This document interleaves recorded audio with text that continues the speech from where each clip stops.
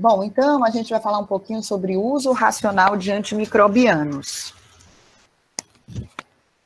Ah, tudo começou, né? A história dos antibióticos, ele começa com a descoberta e o advento da penicilina, na, na, que foi o grande divisor de águas na Segunda Guerra Mundial. 1942, 40 e poucos, quando a penicilina entrou no mercado, começou a ser comercializada e aí mudou a vida de muita gente, né? Muitos dos soldados que morriam de sepsis após os traumas e no mundo todo fora da guerra, né? Os, os, os as infecções elas foram tratadas com esse antibiótico tão potente, tão importante que foi decisivo, isso na década de 1940. E a descoberta, lembrar, foi uma descoberta mais ou menos como todas, né? É um pouco ao acaso e um fungo, nesse cultivo de fungo, penicillium, o Fleming, esse é o Fleming que descobriu a penicilina. De lá para cá, muita coisa mudou. Né? Infelizmente, as bactérias, elas são mais espertas do que os antibióticos e do que os cientistas. E quando você descobre um antibiótico, assim que ele é lançado, já existem genes de resistência, né, de muitas, de algumas bactérias resistentes àquele antibiótico, mesmo ele sendo novo, e existem aquelas bactérias que são intrinsecamente resistentes. E com o uso, toda vez que a gente usa antibiótico, a gente seleciona um pouco essa flora, mata os sensíveis, esses resistentes eles ficam, e essa população ela vai sendo selecionada e vai aumentando à medida que a gente usa, vai, vai usando antibióticos. Então, no início, antes da década de 1950, o estáfilo era sensível à penicilina. Esse é um exemplo só da evolução da resistência específica do estáfilo aureus. E aí, depois, apareceram os estáfilos resistentes à penicilina. É, e aí surgiu a oxacilina, que é a meticilina, elas são drogas primas irmãs. Nos Estados Unidos se chama de meticilina, e aqui no Brasil, oxacilina, na década de 80 que tratava esses estáfilos resistentes à penicilina. E aí, logo que a penicilina foi lançada, que começou a tratar, apareceram os estáfilos resistentes à meticilina ou resistentes à oxacilina, que são tão comuns hoje que perfazem mais de 50% dos estáfilos, é, dos estáfilos hospitalares. E aí, logo, logo, logo, logo, apareceu a, aí apareceu a vancomicina nos anos 90, e aí para tratar, esse foi, foi a primeira classe de drogas para tratar os estáfilos resistentes à meticilina e oxacilina.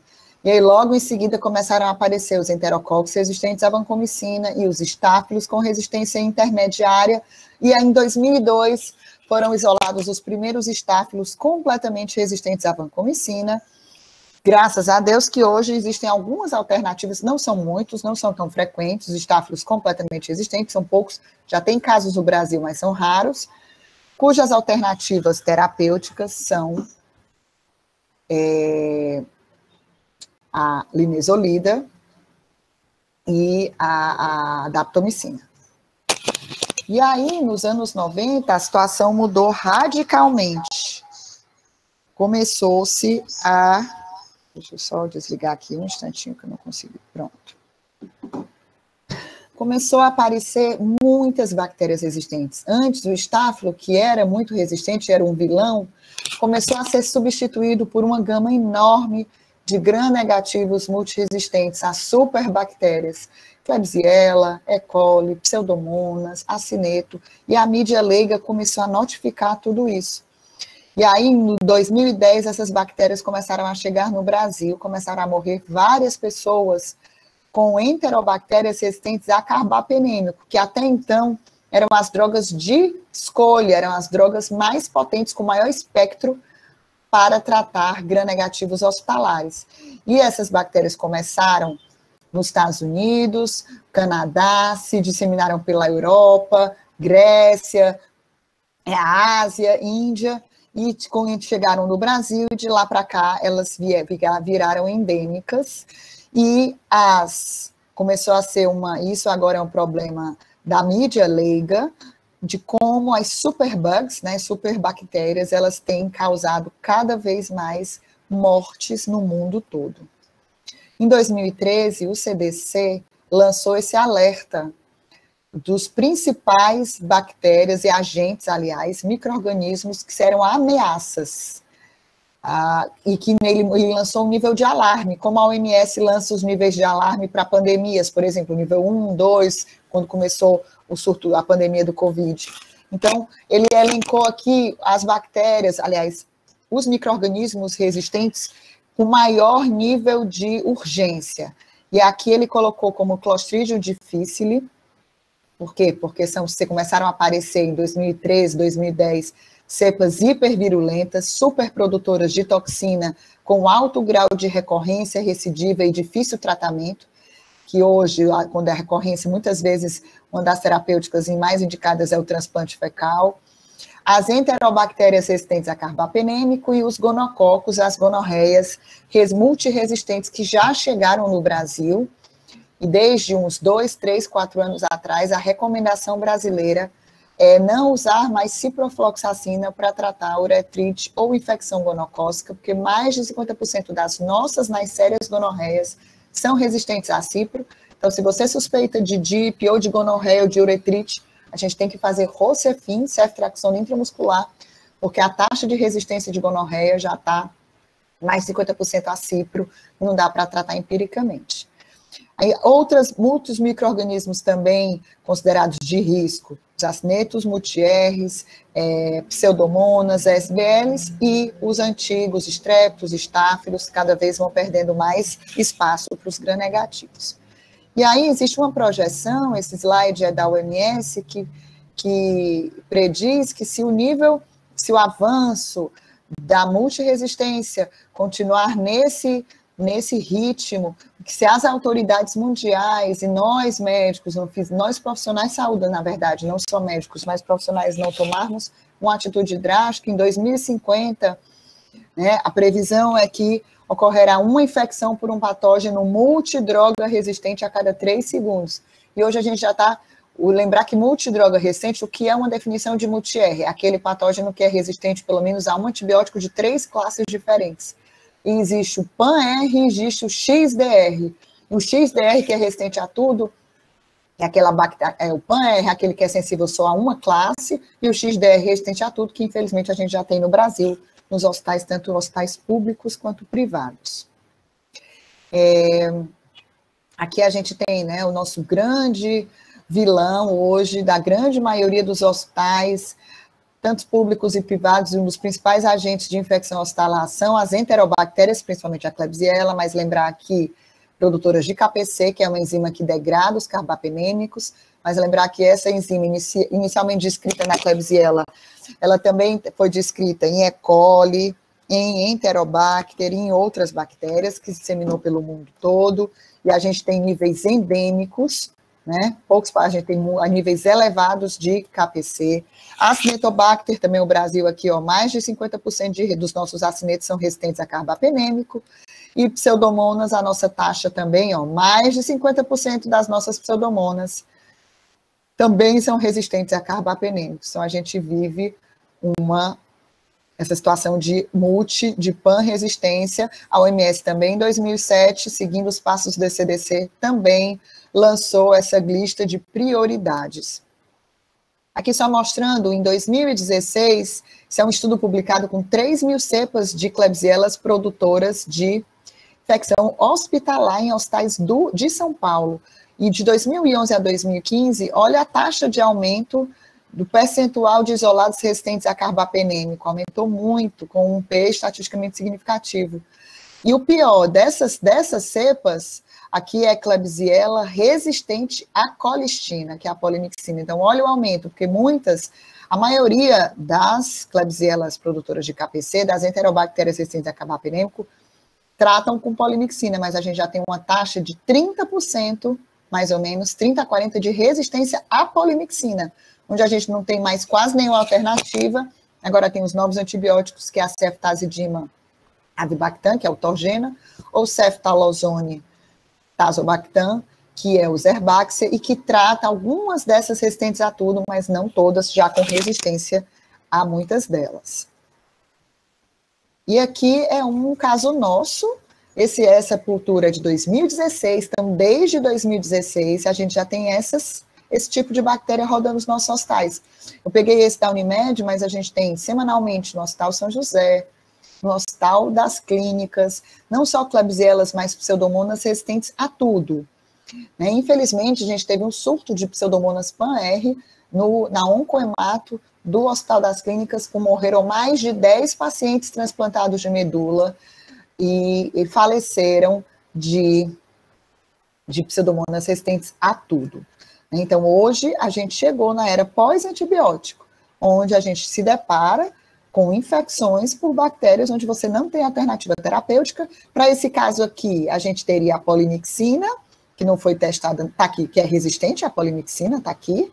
E a alternativa para cá é hoje a ceftazidima avibactam, que é o Togena, ou ceftolozone tazobactam, que o laboratório está fazendo os testes, a gente não tem essas drogas ainda no SUS, estão começando agora, na faculdade a gente já tem, pediu uma compra no estado não, são drogas caras, cujo dia de tratamento é mais de mil reais por dia, e que a gente pode, talvez, usar aqui para essas, em torno de 50% dessas bactérias já são resistentes a essas novas drogas.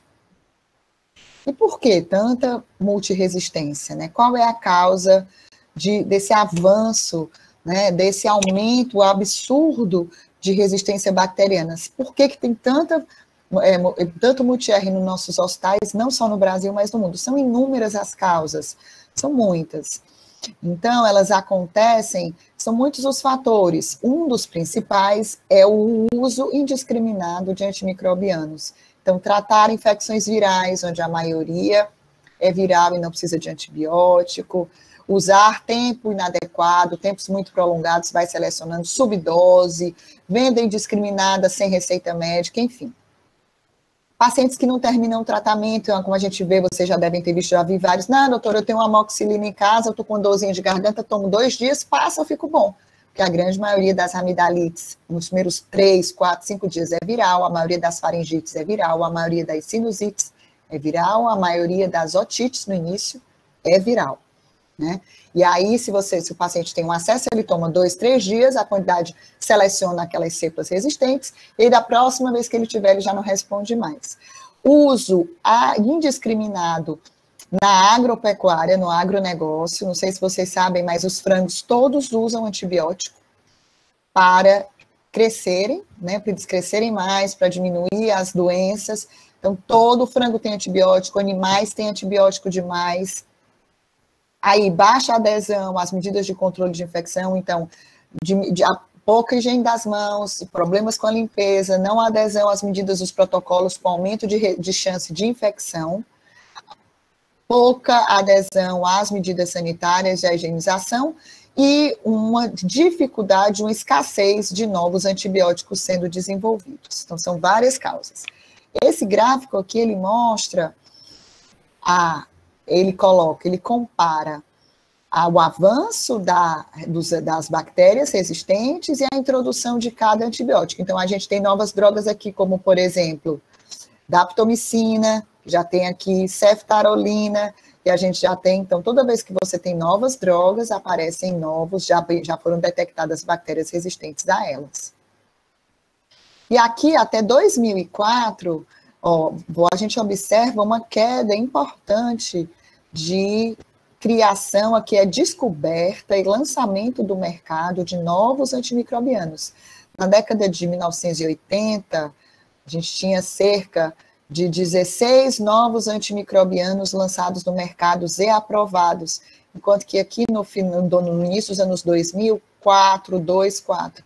E por que isso? São vários os fatores. A indústria farmacêutica, ela hoje não tem muito interesse em investir anos, né, porque as drogas de fase 1, 2, 3, publica os artigos, sim, colocar todo o seu parque é, de, de, de produção para trabalhar na descoberta de novos antimicrobianos, por, por, várias, várias maneiras, porque não dá muito dinheiro.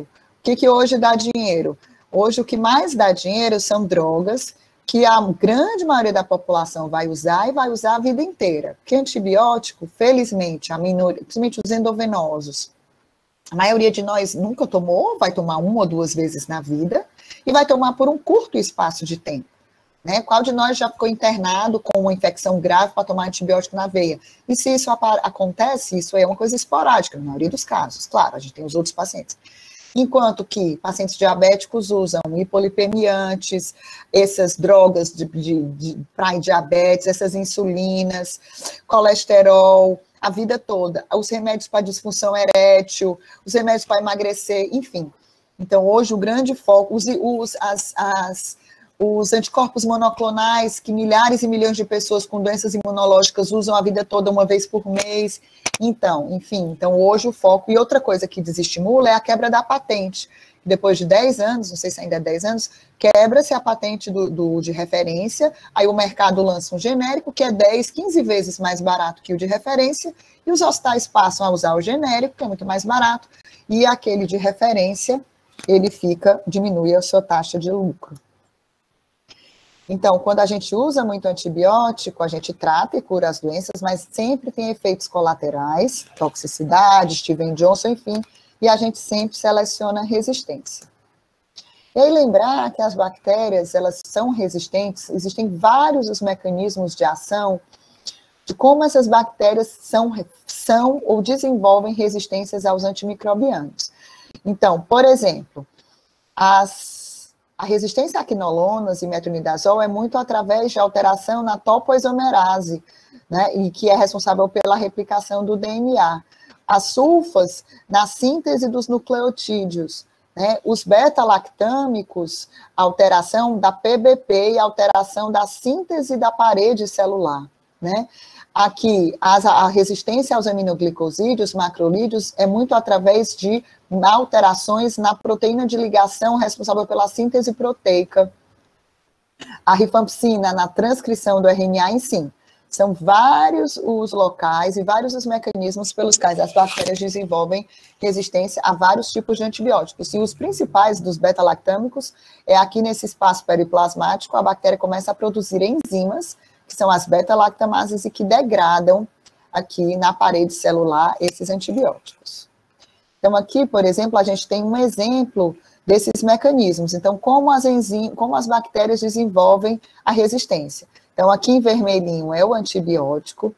Aqui são genes de resistência. Né? Esses, esses genes podem ser cromossômicos, eles podem ficar no cromossomo da bactéria e ela só passa para as filhas através da replicação, ou esse material genético, esses genes, eles podem ficar em elementos móveis no citoplasma.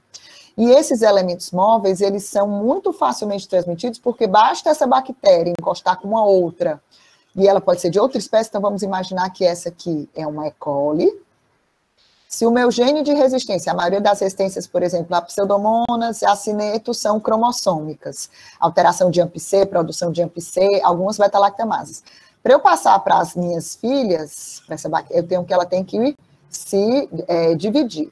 Enquanto que os genes de resistência responsáveis, por exemplo, pela produção de KPC, eles ficam nesses elementos móveis. Aí, se essa coli encontrar, se grudar com, com uma, por exemplo, com a pseudomonas ou com enterobacter, ela pode transmitir esse gene que é móvel para outra bactéria de outra classe, de outra espécie. E aí, isso, isso aí acontece. Um, ah, isso aí, um exemplo disso é como o enterococo transferiu o gene de resistência, que é o VAN e VAN B, resistência a vanco, para o estáfilo, que eram espécies diferentes.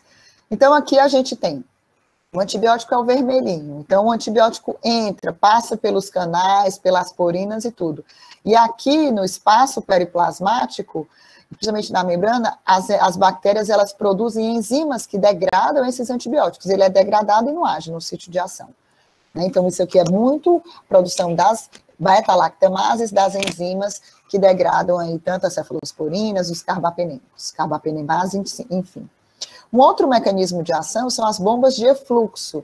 Isso é, é um mecanismo ativo. A bactéria, o antibiótico entra na bactéria, existem canais aqui de sódio, potássio, porinas, onde ele é ativamente colocado para fora, esse antibiótico ele é cuspido para fora da bactéria. E existem também alterações e impedimento da chegada do sítio de ação.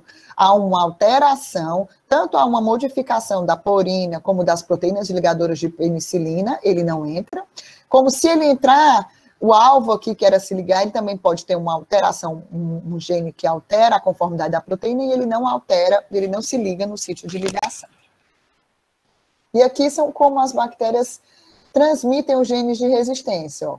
Transformação, conjugação, onde ela passa o plasmídio para o outro, e transdução através de vírus, bactérias que são infectadas por vírus.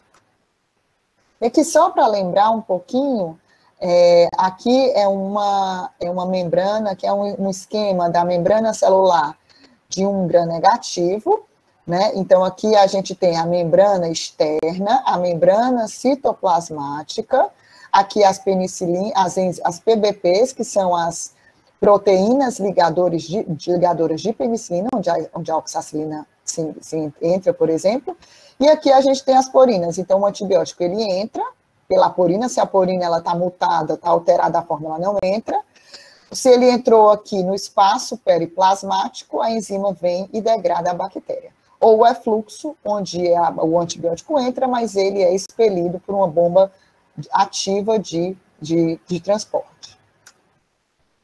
E aí a gente tem esse ciclo. Usa-se muito antibiótico, seleciona resistência, seleciona resistência, como é resistente, usa-se muito antibiótico, então é um ciclo vicioso. E aí lembrar, ó, que a gente tem aqui no nosso organismo, a maioria das nossas cepas a gente é de casa, não toma antibiótico, é rígido, maioria sensível, mas sempre tem um gene, uma populaçãozinha pequena de genes resistentes. Se eu fui, comecei com a dor de garganta, estou no segundo, terceiro dia, vou ao otorrino, ele olhou, está hiperemiado, não tem pus, não tem febrão, aí ele passa uma levofloxacina e um corticoide. Aí eu vou selecionar não só os meus pneumococos, mas os meus gram-negativos, E. coli, Klebsiella, Enterobacter, e aí vão, vai matar os sensíveis, e essa cepinha aqui, essa colôniazinha de resistência, ela vai ficar predominante, e da próxima vez que eu tiver uma infecção, muito provavelmente essa levofloxacina não vai adiantar, porque as minhas cepas já estão selecionadas, ficaram só aquelas resistentes. E isso acontece muito na terapia intensiva. Então, exemplos de uso exagerado, antibiótico profilaxia cirúrgica. Hoje, todos os trabalhos, várias meta-análises, vários, vários guidelines mostram que o antibiótico profilático na cirurgia, ele deve ser feito na indução anestésica, em torno de meia a uma hora antes, e depois, no máximo, até o fim da cirurgia, depois que fecha a pele, não tem muito benefício cirurgias muito extensas, longas, no máximo 24 horas. Essa coisa de deixar antibiótico, 48, 72, 7 dias, como gostam muito os ortopedistas, cirurgiões vasculares, cardíacos, isso vai selecionando a sua flora e quando você precisar, a sua cepa já está resistente. Ou então o paciente opera, opera o coração, por exemplo. A gente vê isso na, nos hospitais todo dia. No primeiro PO, ele tá, saiu da sala de recuperação, faz um, com as primeiras 12 horas, ele faz uma febrícula. Aí colhe um PCR e o PCR é elevado. Lembrar que febre nas primeiras 24 horas, após, após uma cirurgia, principalmente uma cirurgia longa, grande, extensa, cruenta, é reação inflamatória, é atelectasia, reabsorção de hematoma, né? Então, a febre nas primeiras 24 horas após uma cirurgia, a grande maioria não é infecção, a não ser que ele foi para a cirurgia infectado. E o PCR, né, a proteína C reativa, ela aumenta mesmo em trauma, em cirurgia. Então, não, a maioria, então, não dá. E geralmente, o que, qual é o ímpeto e a angústia? Começar logo um antibiótico, vanquitazocin, para o paciente que fez um pico febril, né, nas primeiras 12 horas após uma cirurgia, muitas vezes, aí ele fica, quem começa não quer tirar, ele usa sete dias, daqui a uma, duas semanas, quando ele infectar, aí ele já vai ter a sua pseudomonas multi ou a sua KPC e vai ter que ter, fazer já uma polimixina. E, assim, e lembrar também que essas infecções relacionadas à assistência à saúde, que hoje é o nome, né, esse termo infecção hospitalar, ele é um termo em desuso. Por quê? Porque muitas dessas infecções, elas não estão mais no, no prédio, no ambiente hospitalar.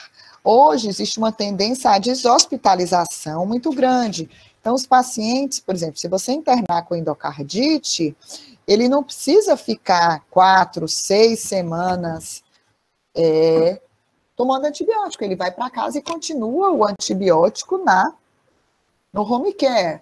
Né? Hoje, as quimioterapias, a grande maioria é feita no, nos hospitais dia. Então, tratamento de tumores sólidos, tratamento de linfomas, faz a quimioterapia, vai para casa. Hoje, tem muitos home cares onde os idosos são acompanhados, as crianças sequeladas, e nessas, nesses lugares, tanto no home care, na diálise, no hospital dia, nas clínicas de onco, passa-se catéter, né, intuba, faz traqueostomia com seleção de cepas resistentes e infecções relacionadas a dispositivos que, apesar de não estarem dentro do hospital, são infecções por bactérias resistentes que precisam ser controladas e notificadas.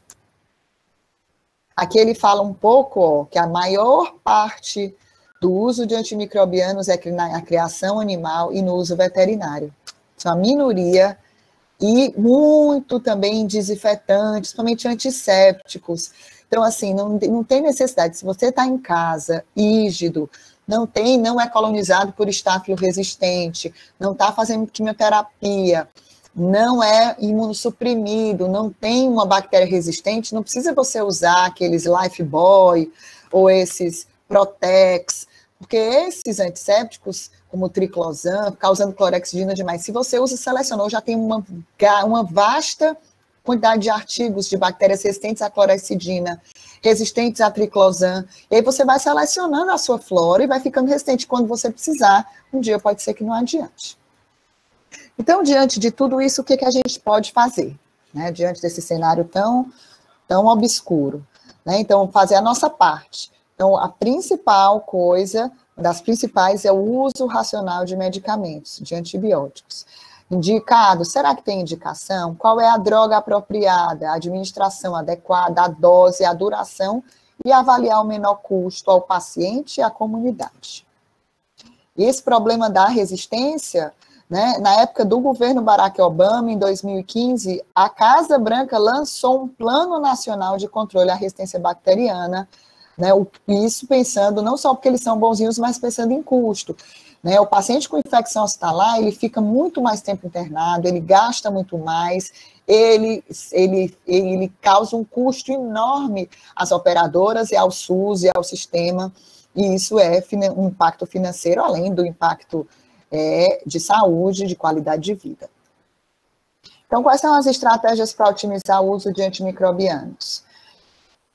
como a gente já falou, otimizar o antibiótico na profilaxia cirúrgica. Então, nada antibiótico só na indução, no máximo 24 horas nas cirurgias longas, cardíacas, ortopédicas, e nada de mandar para casa fazendo antibiótico para selecionar resistência. A duração cada vez menor, ajustar as, após as culturas, o descalonamento. Então, toda vez que você for iniciar um antibiótico, principalmente infecções graves, principalmente o paciente internado, colher culturas antes, hemo, sumário, urina, checar essa cultura, se a bactéria for sensível e você começou um antibiótico de largo espectro, descalonar para selecionar menos a cleraflora. Então, eu cheguei no hospital com uma sepsis urinária, estou com infecção urinária. Estou grave, toxemiado, ai, começou um é, Tazocin, médico da emergência começou um Tazocin, porque eu sou médica, porque eu estava meio toxemiada, colhi uma urinocultura antes. Aí, dois, três dias, sai um E. coli que é sensível a tudo, inclusive a cefalosporina, inclusive a amoxilina, inclusive a é, é ceftriaxona. Pode ir para casa com amoxilina, com cefalosporina de primeira, de segunda, por quê? Porque eu vou selecionar, fazer um espectro mais curto e não vou estar selecionando tantas as outras minhas bactérias. A mesma coisa de usar uma quinolona respiratória para uma amidalite. Se você, ou, se a gente tem uma otite média aguda ou uma amidalite purulenta, qual é a principal causa de amidalite purulenta? Streptococcus pyogenes. A principal causa de otite? Pneumococo, hemófilos, moraxella. A taxa de resistência aos nossos pneumococos é mínima graças a Deus, no Brasil. Então, não precisa você fazer quinolona respiratória, levofloxacina ou moxifloxacina para tratar otite ou tratar amidalite. Porque você, enquanto você dá uma quinolona respiratória, você vai selecionar todos os gram-negativos da sua flora intestinal, todos os gram-negativos do seu corpo todo. Enquanto que se a gente der só amoxilina ou amoxilina clavulanato, você está selecionando só os estreptococcus e alguns gram-negativos. E aí, quando você tiver uma infecção urinária, uma pneumonia, você, você vai poder usar uma quinolona respiratória ou uma urosepsis, um gram-negativo. Né? Então, nada de ficar usando quinolona respiratória para tratar otite, sinusite, faringite. Existe uma legislação, né? O Conselho Federal ele apoia que a prescrição deve obedecer às normas e às recomendações da CCH. E antes de começar um antibiótico, a gente tem que sempre se perguntar: com base nos achados clínicos, existe indicação? Quer dizer, uma criança com febre rash, deve ser um quadro viral, né? Agora, a gente, diante dessa pandemia, essa coisa da azitromicina, vários estudos já comprovaram que a cloroquina e a azitromicina não têm benefício nenhum para tratamento de SARS-CoV-2. Não há nenhuma indicação de mais de fazer nem cloroquina e nem azitromicina, e os trabalhos mostraram que aumentou a mortalidade e os efeitos colaterais. Então, se você tem uma suspeita ou uma confirmação de SARS-CoV-2, você está bem, não tem um pulmão de Sara, não está grave, não existe uma suspeita de infecção bacteriana, não precisa tomar azitromicina e cloroquina nunca. Quando é que a gente faz antibiótico num paciente com Covid? Ou no paciente com influenza, quando o paciente chega, tem esse quadro viral, evolui grave, e aí ele vai para a insuficiência respiratória, eleva o PCR, aquele infiltrado na tomo, que era vidro fosco intersticial, começa a consolidar, a, a PCR aumenta, e aí é difícil a gente diferenciar até que ponto só tem um quadro viral, ou até que ponto existe uma infecção bacteriana superposta. Aí, nesse caso, quando existe a possibilidade, é difícil muitas vezes, o paciente que tem um acometimento grave, geralmente aquele após as primeiras semanas, no sétimo, oitavo, que já está com o pulmão 50% acometido, que já tem áreas de consolidação, que o PCR já é elevado, é difícil você saber até que ponto é só COVID. Então, se ele interna, é, você tem uma taxa de co-infecção bacteriana de 20% a 30% nos trabalhos. Então, assim, se ele é grave, vale a pena começar antibiótico. Aí você faz uma ceftriaxona, uma azitromicina, ou claro, para cobrir anaeróbio, ou para cobrir atípico. Pode fazer uma quinolona respiratória. Mas o paciente com terceiro, quarto, terceiro dia, onde ele só tem uma coriza, uma dinamia, uma gelsia, uma febre, o X é normal, não tem nada ainda, não tem indicação de ficar fazendo azitromicina e a cloroquina, ela é contraindicada. Então, ó, aqui, esse é um trabalho antigo que mostra que nos Estados Unidos, a principal causa de uso de prescrição de antimicrobianos é para infecções virais, né? Nos, nos 30 a 48% dos pacientes que usam antibióticos não têm evidência de infecção. E 30 a 70% dos antimicrobianos são inadequados e o uso correto ocorre em 50% dos hospitais. Então, não há indicação de ficar tratando infecções virais, só porque lembrar que secreção amarelada, pus, ah, mas saiu uma catarrinho amarelo, estou no meu segundo dia, ou eu escarrei um pouco de secreção amarelada, é leucócito. Né? Então, não é toda a secreção amarelada que significa que tem infecção bacteriana. A gente tem que avaliar a história, o tempo, o estado geral, tudo. Foram colhidas culturas para identificar corretamente o patógeno. É muito importante a gente pensar qual é o patógeno e depois tentar ajustar esse antibiótico após, baseado nas culturas. Os múltiplos antibióticos estão disponíveis para tratar o patógeno, qual deles é o melhor para cada paciente? Um exemplo disso, claro, é o estáfilo sensível à oxa. Então, se eu cheguei, por exemplo, eu tô, eu internei, eu tenho um catéter de hemodiálise e eu internei, comecei a fazer bacteremia durante esse catéter na clínica, febre, febre, febre, internei com infecção, suspeita de infecção de catéter. Eu colho hemocultura, começo vancomicina, por quê? Porque como é um catéter, eu frequento clínica de diálise, tomo antibiótico, existe uma chance grande de ser um estáfilo recente à oxa. E aí, três, cinco dias depois, quatro dias depois, cresce, como a gente teve um caso agora em endocardite, um estáfilo sensível à oxa, MRSA. O, a oxacilina, ela é uma droga que tem uma melhor penetração, uma melhor biodisponibilidade, uma melhor farmacocinética e farmacodinâmica do que a vanco. E os estudos mostram que os pacientes com estáfilo sensível que usaram oxa e quando compararam a vanco, houve um clareamento muito mais rápido da bacteremia. Então, muito, ah, não, já está com vanco, é sensível mesmo, mantém. Não.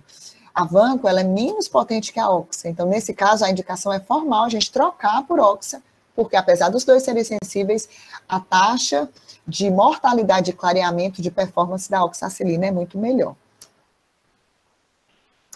Tratamento de CRE, as enterobactérias aí também é um grande, né, é, é um grande desafio.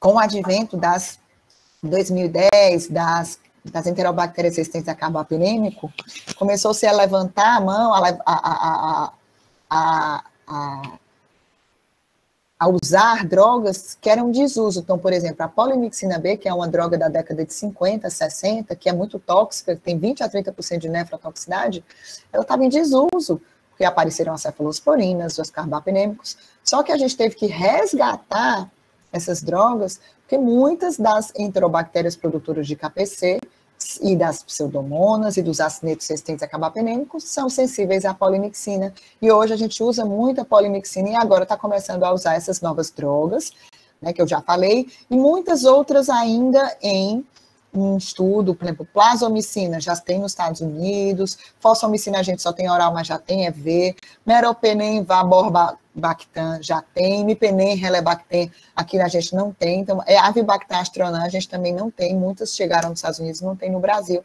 Então, felizmente, nos últimos anos, a gente tem uma gama de novas drogas sendo testadas. É, Resistência à polimixina já é um problema, né, com aumento importante ao longo dos anos. Qual a melhor via de administração? Então, se o paciente é grave, a gente começa com drogas endovenosas. Mas tu, muitos trabalhos mostram que você começou com urosepsis. Comecei com ceftriaxona, ela vem de casa.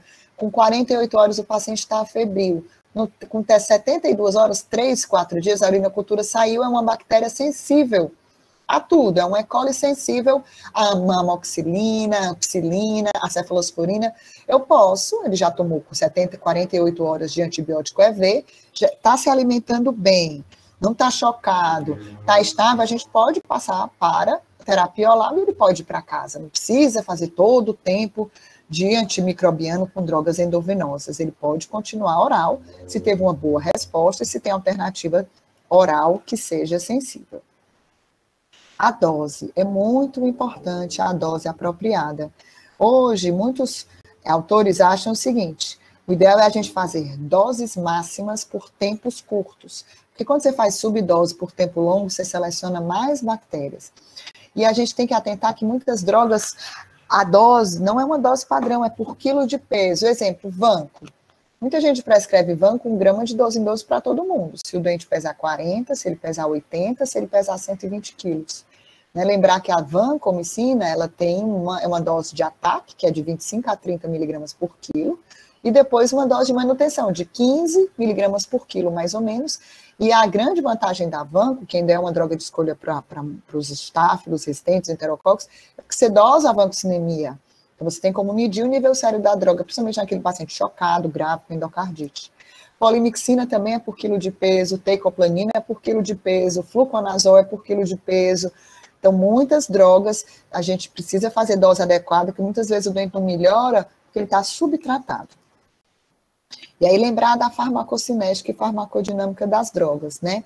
A farmacocinética é tudo que fala de absorção, distribuição, concentração e eliminação de fármaco. E a farmacodinâmica é a relação entre a concentração e o efeito antimicrobiano. E lembrar que a concentração inibitória mínima é um importante marcador. Vocês lembram que a concentração inibitória mínima, a menor concentração do antibiótico capaz de inibir o crescimento bacteriano. Cada bactéria tem um MIC, que quando a gente vê o antibiograma aparece, para cada antibiótico. A gente não sabe decorado, mas o ideal é que quanto menor o MIC, mais sensível é a bactéria. Né? Então, você vê, por exemplo, então vamos supor que aqui a gente tem uma, uma, uma, uma cultura de bactérias com E. coli. Você vai diluindo, coloca um antibiótico. Dilui, dilui, a partir daqui ele não cresceu mais. Então, o MIC dessa bactéria é 6,25. Então, você vai diluindo, diluindo, diluindo e ela não cresce mais. Então, quanto menor, melhor. E na hora de escolher o antibiótico também, a gente avalia muito a farmacocinética e a farmacodinâmica. Então, existem aqueles antibióticos que são concentração dependente, que o ideal é você dar uma dose alta, e aí ele fica com o efeito pós-antibiótico. Exemplo, ciprofloxacina, aminoglicoside, que eu posso fazer uma vez por dia, e tem aqueles antibióticos que são tempo dependentes, que eu tenho que ficar muito tempo com a minha concentração acima do MIC. E aí eu preciso ficar repicando e reforçando e fazendo, ou então fazendo uma terapia, um, uma infusão prolongada, como a cefalosporina, cefepime, tazocin, vipenem, meropenem, que tem que ficar muito tempo acima do MIC, que não tem efeito pós-antibiótico e que a gente corre em três horas, né? E que quanto mais tempo, melhor. E aí, ó, que drogas, concentração dependente, vanco, quinolona, dapto, dogs, dá para fazer uma vez por dia. E drogas tempo dependente, beta-lactâmicos, Bactrim, e que aí é importante manter o maior tempo possível, né? E agora que a gente tem os estados da cultura, sempre descalar, ah, mas o time que está ganhando, a gente não mexe em time que está ganhando. Mas se eu tenho uma cultura de um laboratório confiável e ele mostra que é sensível, o ideal é que a gente descalone para ecologicamente poupar as cepas daquela, daquele paciente, evitar a seleção de resistência dos outros sítios da flora, da microbiota daquele paciente, do microbioma, que hoje está na moda, e ecologicamente os, as, as, os outros pacientes, né? Porque as bactérias são transmitidas através das nossas mãos. Principal fonte transmissora e carreadora de infecção hospitalar são as mãos dos profissionais que tocam no doente, tocam no outro e não higienizam, tocam no catéter. E aí a gente pode internar para fazer uma plástica, colocar um silicone, e o profissional que examinou, que fez o curativo, mexeu no catéter, ou examinou o paciente do andar de cima que tinha KPC, se ele não higienizar as mãos, ele vem mexer o nosso curativo, e a gente pode ficar colonizado com KPC e perder aquela prótese, ou então uma cirurgia limpa, enfim. Então, quando a gente pensa em antibiótico, a gente não pensa só no paciente, a gente pensa no, no coletivo, no ambiente todo, né? E aí, tão importante o descalonamento, que você administra. Então, às vezes o paciente está muito grave, eu comecei vanctazocin, uma pneumonia está chocada. Aí cresceu uma Klebsiella sensível a tazocin, eu tiro a vanco.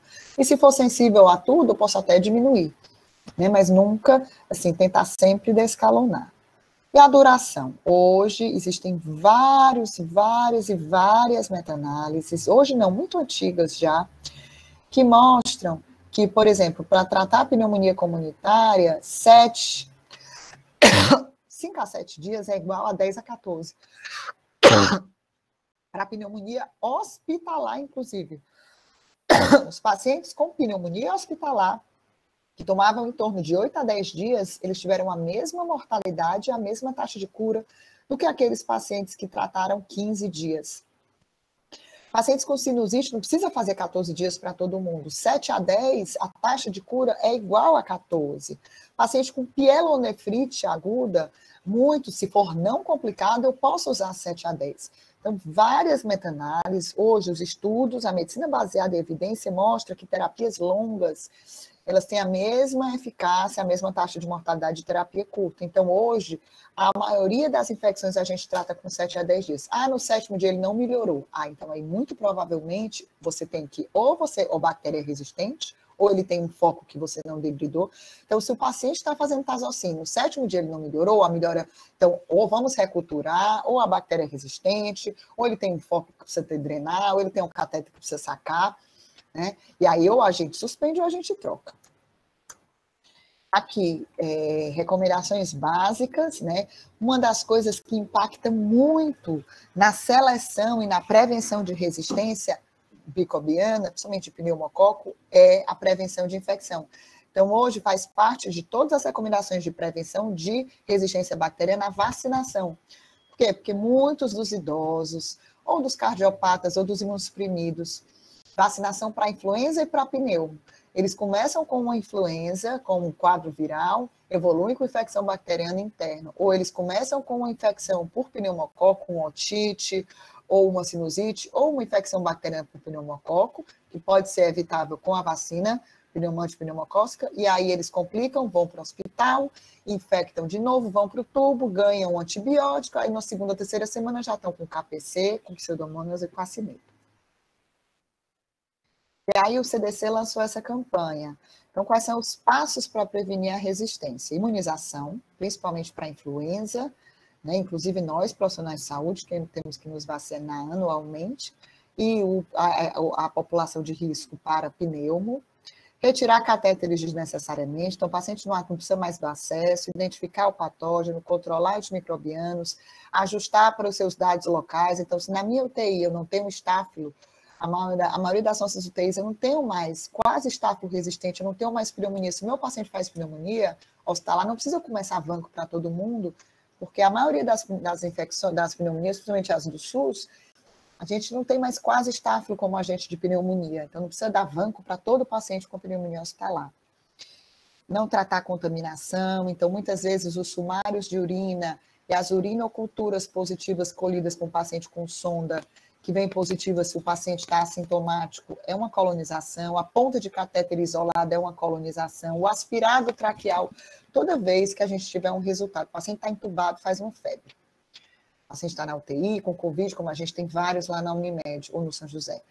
Covid, pulmão grávida, faz uma febre. Vamos reculturar. Aí eu colhi um aspirado, cresceu uma pseudomonas. Aí eu olho, o raio-x dele não piorou, ele não tem novo infiltrado, ele não tem aumento de secreção, ele não tem critérios de pneumonia. Muito provavelmente aquele aspirado ou até o lavado, ele é uma colonização. Então, sempre que a gente tem culturas de sítios não estéreis, urinocultura, aspirado, escara, suave, suave sempre a colonização, ponta de catéter, sempre interpretar num contexto clínico, pensando que só a cultura sozinha pode ser uma colonização e não infecção. Né? Isolar o patógeno, dizer não a vanco profilática, ver vanco para todo mundo e bloquear a transmissão, as medidas de precaução de contato. Aqui é um pouco falando do stewardship, que é o uso racional, que a gente passa aquela visita para o controle dos antimicrobianos, todo mundo da CCH, né? É, o descalonamento. E só para terminar, esse resumindo, então, o que, que a gente precisa para tentar diminuir, combater esses multierres? Higiene das mãos, educação de profissionais de saúde, minimizar os dispositivos. Então, o paciente estava na UTI, saiu da UTI, não precisa mais droga vasoativa, vamos tirar a sonda vesical. O paciente tá, passou um catéter, saiu do choque, começou, desinchou, vamos sacar o catéter e pegar um acesso periférico, porque quanto mais tempo ele ficar com catéter, maior risco de infecção. Quanto mais tempo ele ficar entubado, maior risco de pneumonia capacitar a detecção dos laboratórios para multi-R, identificar precoce e isolar, precauções de contato, avental, luva, higiene das mãos, coorte, o ideal é coorte de espaço de funcionário, controle de antimicrobianos e isolamento de contato. A limpeza também que é fundamental. E aqui, só para terminar, né, é uma, uma brincadeirazinha que em 2000 a.C., não tinha-se nada, você adoecia e comia uma raiz. É, mil antes de Cristo evoluiu-se e a raiz é pagã. Agora a gente rezava uma prece. 1800 depois de Cristo virou-se aquilo é uma superstição. Agora beba essa porção. 1920, aquela porção é óleo de serpente. Tome essa pílula com o advento dos antibióticos. A pílula é eficaz. Leve a penicilina. Em 55, eles começaram a ficar multi-Rs, resistentes à penicilina, apareceram os outros. E a partir de 2000, a gente vem com os micróbios, né, os, as bactérias, os micro-organismos resistentes. Agora a gente está voltando para comer a raiz, se a gente não continuar e não correr. Que as lutas, né, essa guerra da multiresistência está sendo vencida por, pelas bactérias por enquanto, a gente está perdendo, é feio. Bom, eu acho que é isso. Vocês podem. Tem alguma dúvida? Pode perguntar. Eu vou tentar entrar, aqui de novo. Doutora Everine, primeiramente, a gente quer agradecer. Muito obrigada pela aula, foi ótima. Estou elogiando aqui no chat. E a gente tem duas perguntas. A Pode primeira falar. é: quais os outros fatores que devem ser levados em consideração no caso de febre no pós-operatório? Nas primeiras 24 uhum. horas para avaliar a necessidade ou não de antibiótico terapia. É, assim, pois é, antibiótico. Paciente que operou, né, fez uma cirurgia cardíaca, uma cirurgia ortopédica, e sai da sala e faz febre, muito pouco provável que ele tenha adquirido uma infecção ou na, ou na cirurgia, ou na uma infecção de sítio cirúrgico, ou durante a intubação, associada ao tubo, uma pneumonia, ou da sonda que ele passou, porque não deu tempo, você precisa de um tempo né, para a bactéria, se vamos supor que na hora de intubar o anestesista não usou a técnica adequada, mas existe um tempo para a bactéria entrar, colonizar, proliferar, causar infecção. Mesma coisa da sonda, mesma coisa do sítio cirúrgico. A maioria das infecções de sítio cirúrgico acontecem após o quinto, sétimo dia.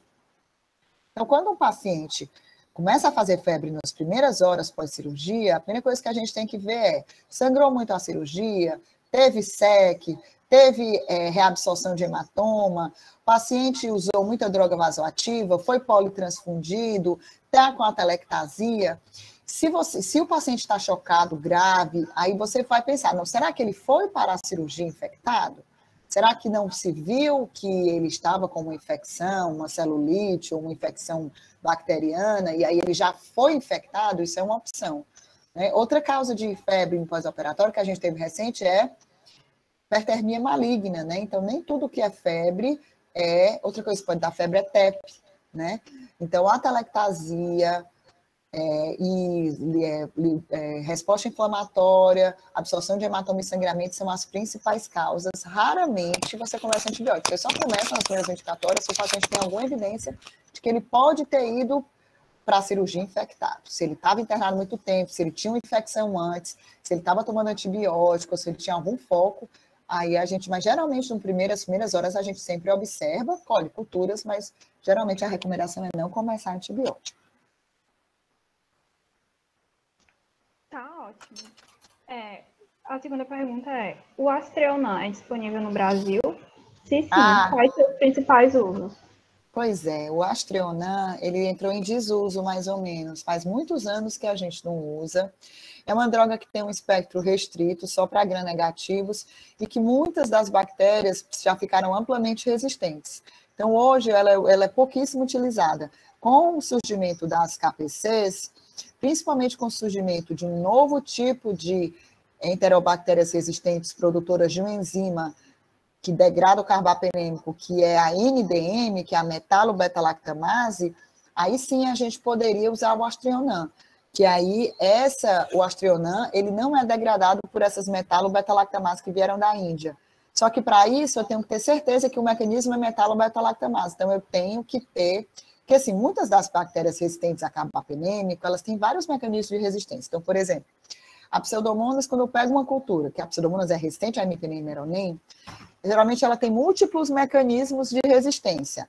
Ela produz carbapenemase, ela tem alter, bomba de efluxo, ela tem porina, são múltiplos ah, mecanismos juntos, então não dá para a gente apostar. A Klebsiella, as, as, as enterobactérias, a maioria é KPC, mas é, o, o, então por isso que a maioria dessas, né, o Astronam ele não trata. Agora, se por acaso eu tiver com uma Klebsiella, que é resistente a carbapenem, que eu fiz o teste molecular e hoje alguns laboratórios fazem, e detectou que é uma NDM, por exemplo, que a, o a, tipo de enzima ela é uma metalo-beta-lactamase, aí nesse caso o Astreonam é, tem benefício. Mas muitas vezes só pelo antibiograma a gente não tem, tem que ter um teste molecular. Então, na prática, a gente usa muito pouco. Eu acho que no Brasil tem, mas acho que não tem mais, é, a gente não tem mais nos hospitais, não sei nem se tem fornecedor. A gente tem usado muito pouco mesmo.